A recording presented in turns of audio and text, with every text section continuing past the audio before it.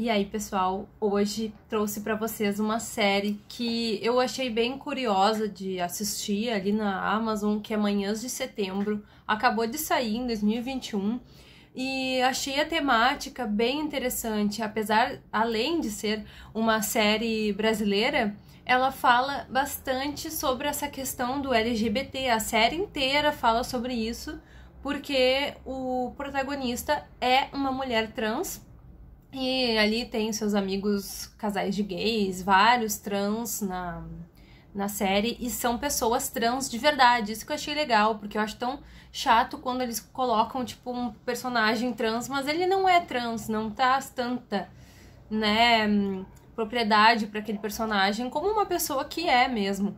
E eu achei sensacional Uh, é uma série bem rapidinha, tem 30 minutos, 25 episódios, tem só 5 episódios, na verdade, acho que é uma minissérie.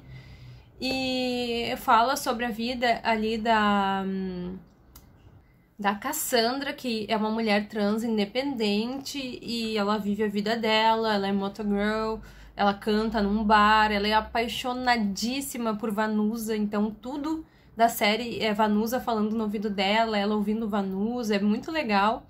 E acontece que ela é pega de surpresa com uma surpresinha de 10 anos atrás, que ela engravidou uma mulher e essa mulher veio bater na porta para mostrar o filho para ela. Então, ela entra em parafuso quando isso acontece e é uma série bem simples, que é para mostrar mesmo o dia a dia ali da Cassandra não acontece grandes acontecimentos, não tem plot twist disso e daquilo, mas é uma série para ver o dia a dia das pessoas e eles mostram bastante essa dificuldade do LGBT, enfim, né, das coisas que acontecem. achei bem interessante e vale a pena dar uma conferida nessa série aí.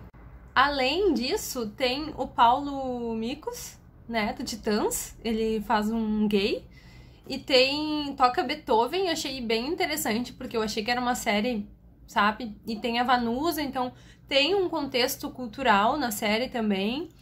E achei muito boa mesmo.